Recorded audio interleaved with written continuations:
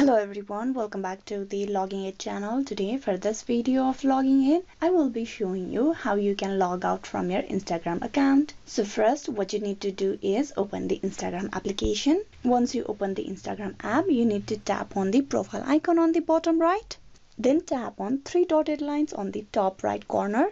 Now here you tap on setting Inside setting, once you're at the setting section, you need to scroll down to the very end and at the end of the page or the screen you will see logout option. There you tap on logout and just with that you will be logged out. Here you need to tap on logout. If you want your phone to remember your login details, you can tap on remember my login info. If not, you can just tap on logout. So this is how you can easily log out from your Instagram account. Hope this video was useful. Please like and subscribe to the Login Aid channel and also don't forget to click on bell icon for the notification and updates. Thank you.